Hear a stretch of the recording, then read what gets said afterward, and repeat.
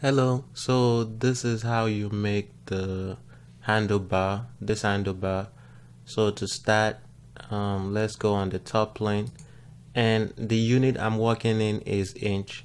So start on the top plane and let's draw a sketch and let's draw two circles in the at the not at the origin point excuse me so draw two circles somewhere up here so something like that. And now click the center point and the origin point and make it vertical to each other and add the dimension. And the first one will be 1.34 and the second one will be the outside circle the diameter will be 1.42 and we want to add a dimension from here to the origin point which is going to be 1.5 so you should have something like this 1.5 1.34 and 1.42 and click the circle on the inside and make that circle a construction line and click OK and exit out of your sketch. So now we are going to do the extrude. So the first one you're going to be extruding it up and that will be 1.5 and the, you click on direction 2 and you are going to be extruding that down which is this one down 0.1 and click OK. So you should have that. And now we want to click on the front plane. So the front plane is somewhere over there. And while you're on that front plane now we want to go to sketch tab drop down and click the 3D sketch. So now that sketch is going to be uh, coincident with that plane. So let's just start drawing our sketch. So let's draw a line. Um, and mind you, this is a 3D line. So let's draw something like, um, let me move it somewhere up here. Just draw something like this. A shape going at an angle, coming at another angle, and coming at another angle something like that. So you should have like three lines and each line coming at an angle. So let's draw another line somewhere down here somewhere down here where the origin point is something like that and make that line a construction line. So now all we will need to do is add a dimension to from this line to that point. That will be 0.835 and and let's add a, another line over here. And that's also a construction line. So this is 0.835 and the weight of that handlebar we going to let's do the line to that point. So you dimension the line to the point and that will be 11.62 so you have something like that.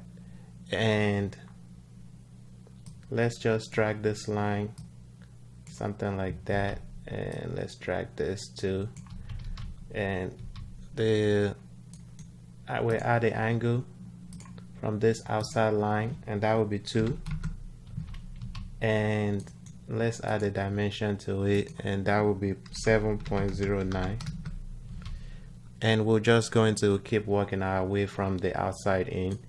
We add another dimension to this line which is an angle will be 52 and let's pull that down.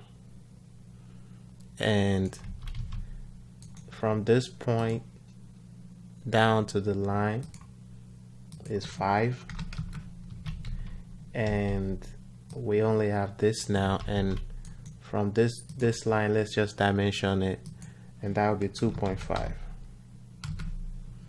and let's also add a dimension to it and this will be 6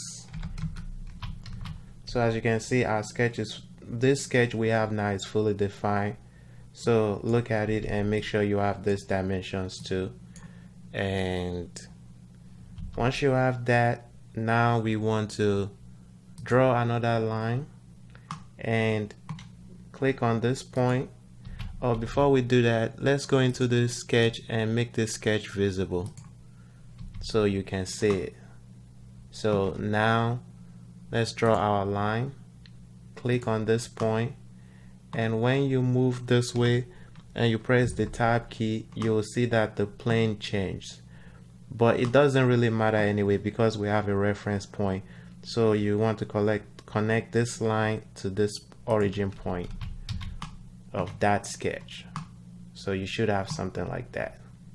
So if you look at it that line is connecting to that origin point. And I'm just going to go to the front plane. So you should have something like this and good.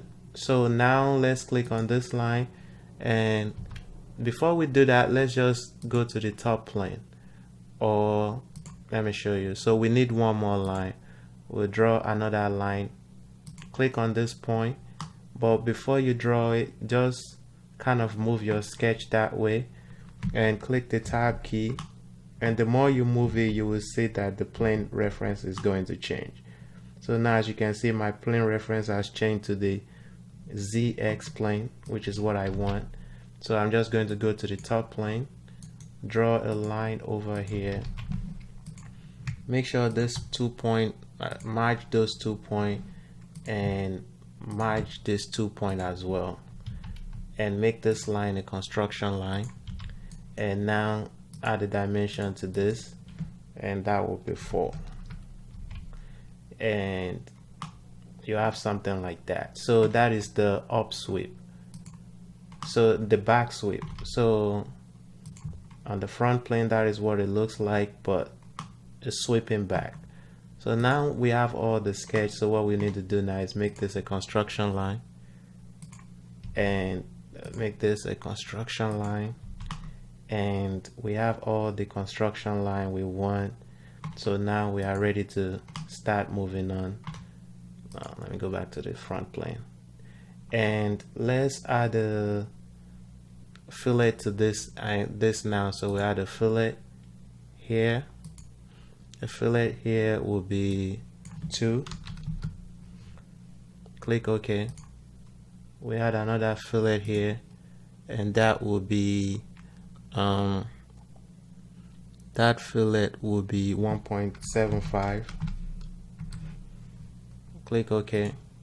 And we need one more fillet. And down here. And that fillet will be 3.5 3.5 and click OK. So everything looks good. We need one more sketch. So draw an arc from that point that's kind of coincident with this arc and something like that.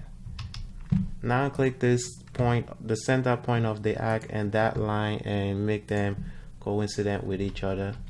And the radius of this arc is 6.75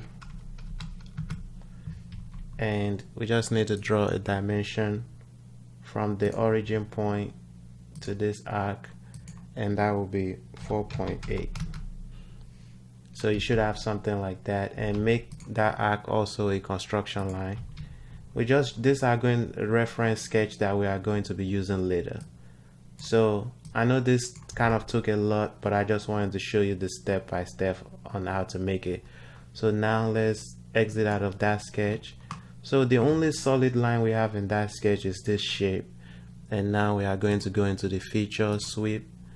And we want to click the circular and that sketch is selected and we want to um, since I'm working in inches but I know the handlebar is typically the diameter is typically 22.2 so let's just type 22.2 but since we are working in inches make sure you type mm after it so that way SolidWorks is going to convert it to inches for you so type 22.2 mm and click OK.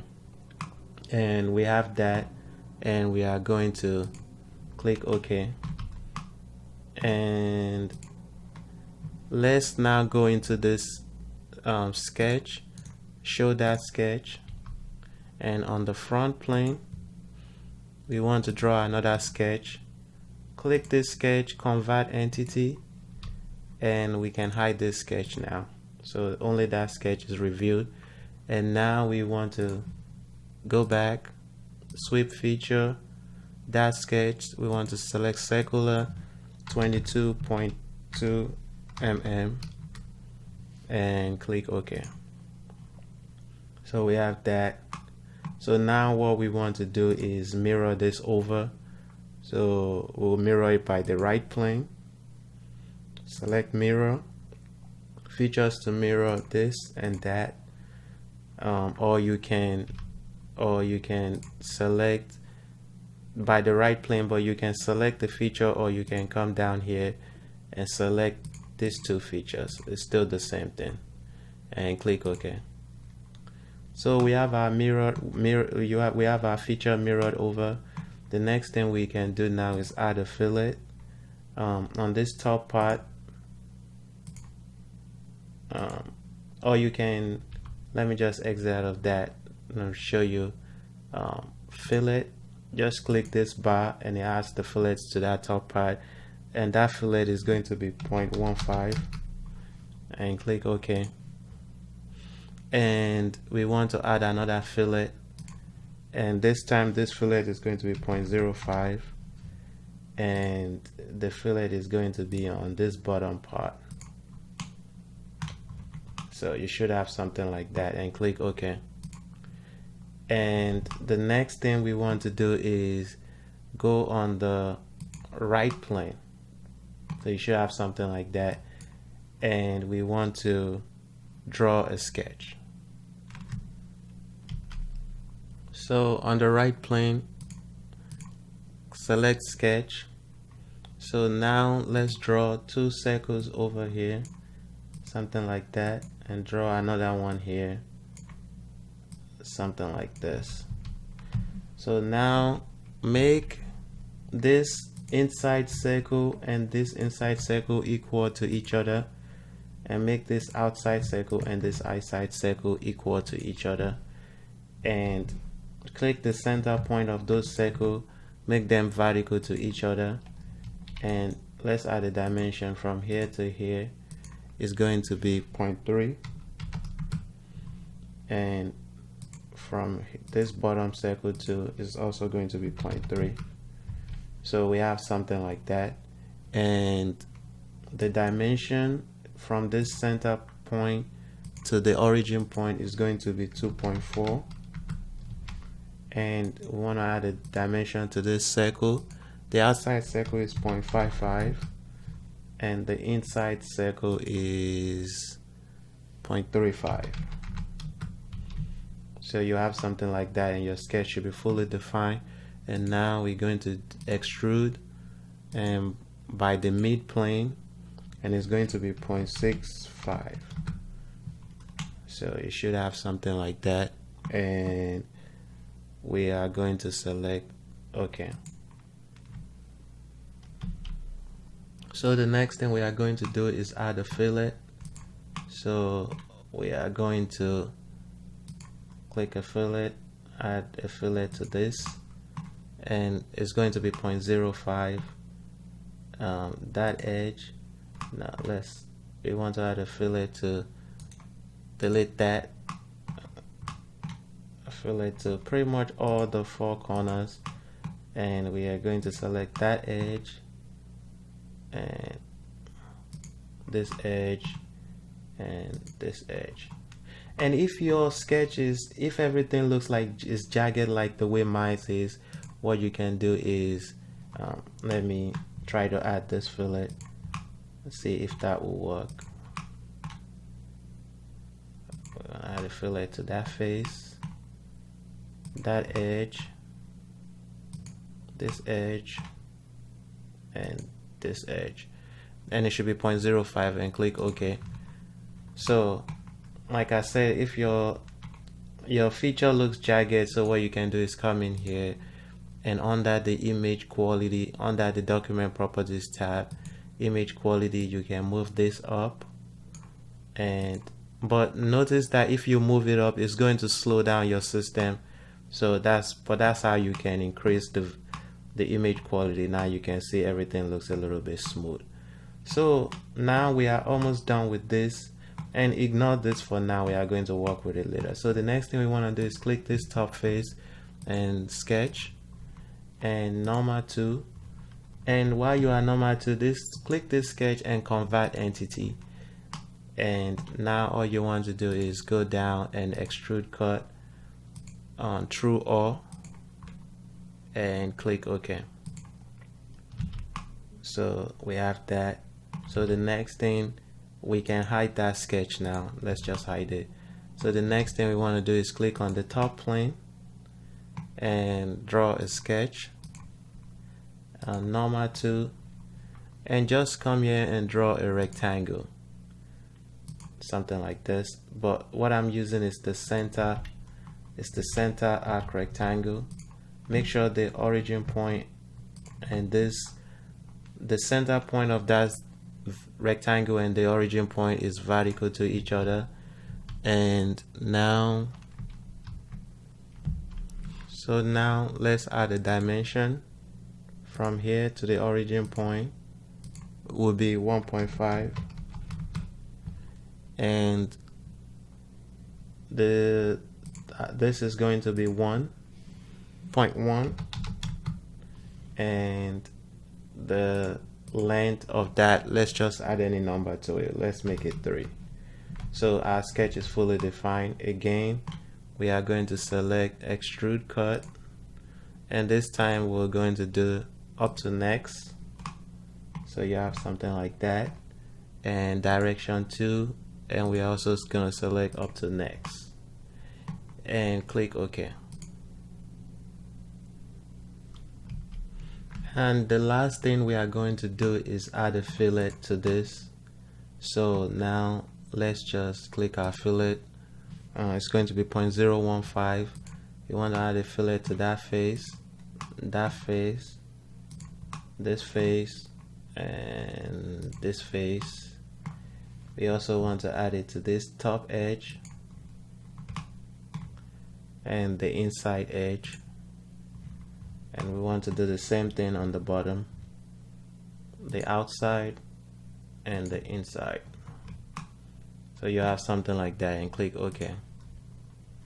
And that is it. That is how you make this Swiss handlebar and what we can do now is add a material to it and metal.